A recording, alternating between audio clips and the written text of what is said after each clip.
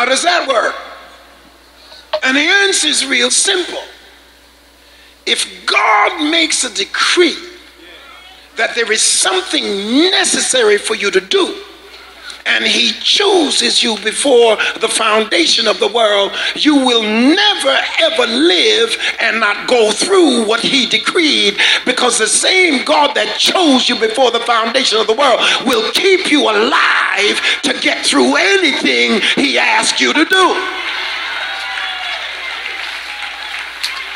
I want to talk to some people tonight that's been confused for a long time.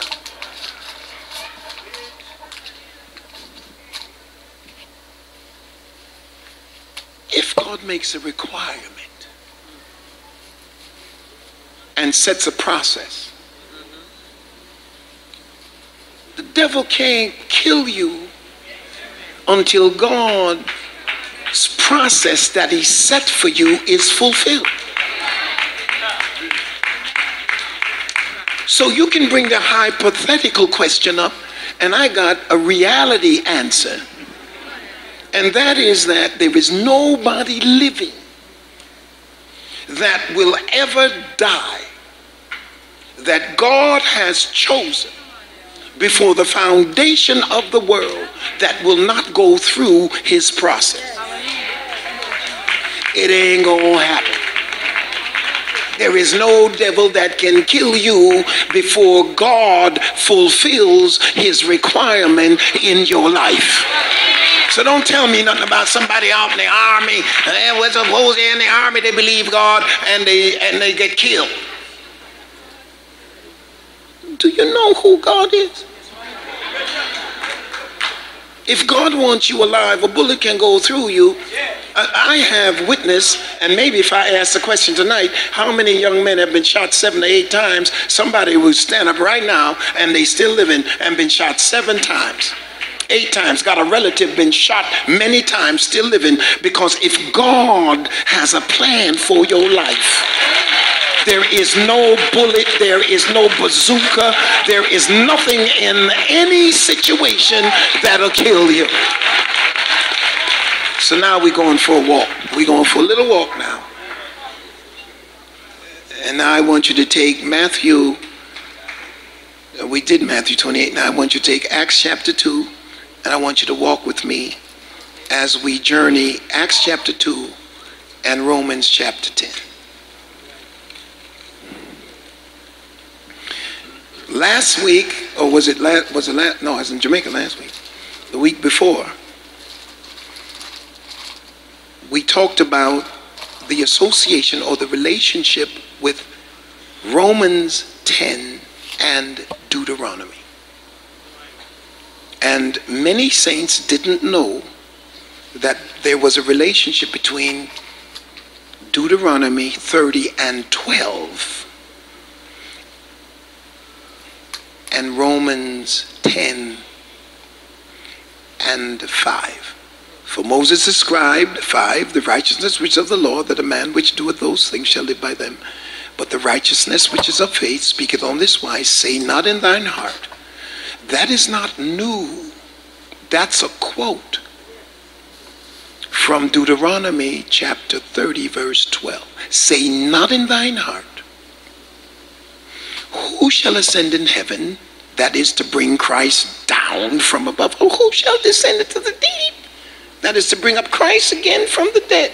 But what saith it, the word is nigh thee, even in thy mouth and in thy heart that is the word of, of faith which we preach. That if thou shalt confess with thy mouth the Lord Jesus, and shalt believe in thine heart that God hath raised him from the dead, thou shalt be saved. For with the heart man believeth unto righteousness, with the mouth confession is made unto salvation. Now, notice now verse 9 and 10. He switched it. In 9, he said, If thou shalt confess with thy mouth the Lord Jesus and shalt believe in thine heart. Now, there's absolutely no way for you to confess with your mouth if you don't believe in your heart. Amen. Now, you might not love her, but if you believe you do, you're going to tell her.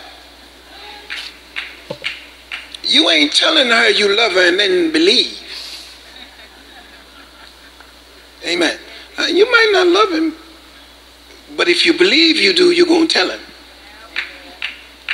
You're going to try to tell him.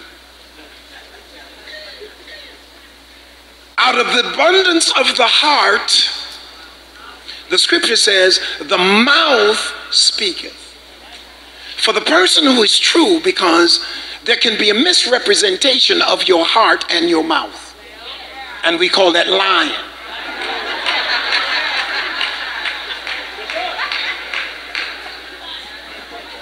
Amen. Because if there is a certain disposition you have in your heart and you speak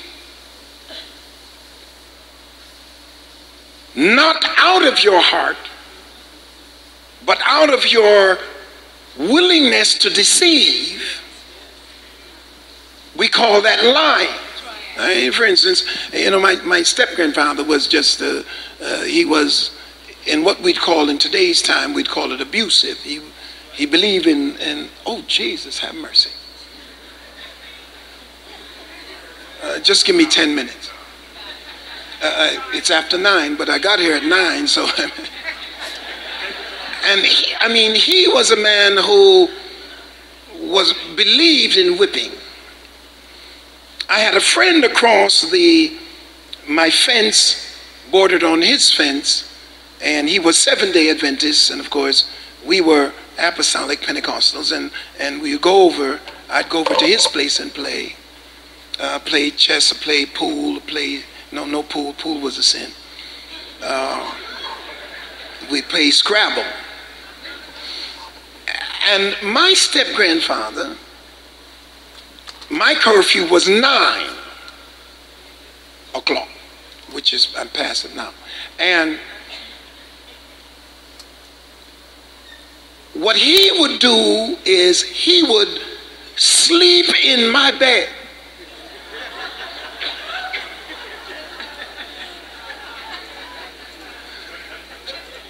So that when I came home, whatever time I woke him up, that's when I came home. So what I would do is I would back my watch up and I'd come home and say, Master wake up, wake up, wake up. It's time for me to sleep. He'd look at his watch. He'd say, It's 12 o'clock. Where have you been? And I said, Oh, my watch is saying 8:30.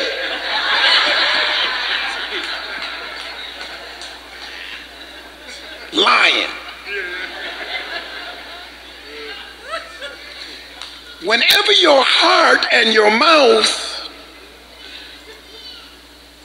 don't say the same thing, you're lying. But you can't lie to God.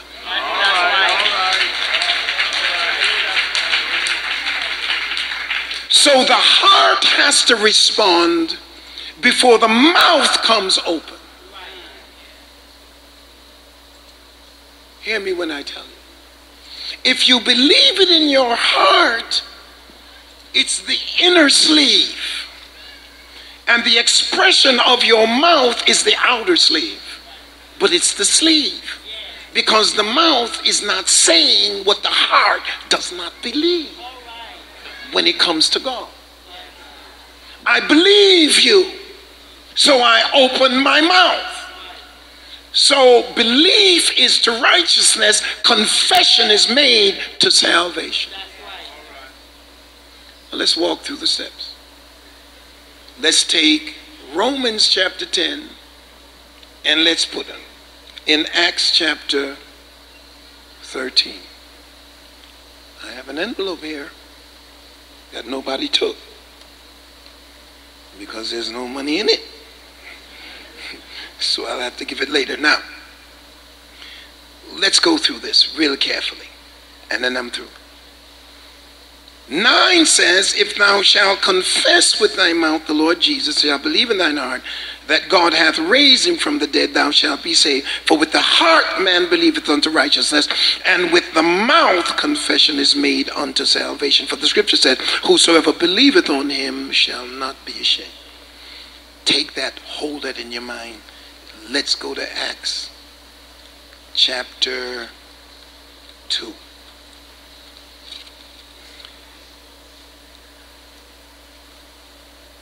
In Romans chapter 10, you read somewhere that faith cometh by hearing,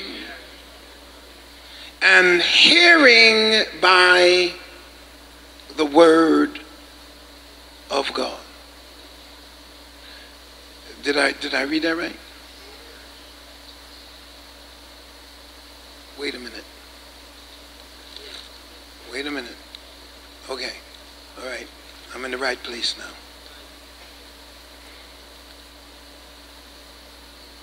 Peter is preaching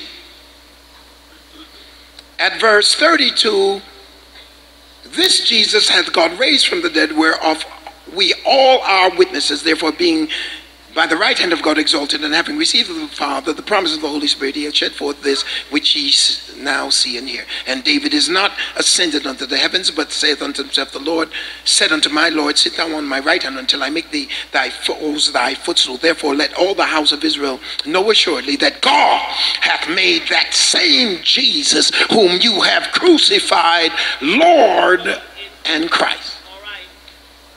Faith cometh by hearing and hearing by the word of God. Peter preached the gospel. The next verse says, Now when they heard this, faith cometh by hearing, hearing by the word of God. Now when they heard, we got the first step. Faith cometh by hearing, hearing by the word of God. Now, when they heard this, they didn't have any clue until they heard. There was no action to be taken when they didn't hear. There is no belief unless you hear because faith only comes by hearing because you can't see God. Hmm. Notice why you can't see him because he's saying you can't bring him down or bring him up. The word is nigh thee, even in thy mouth.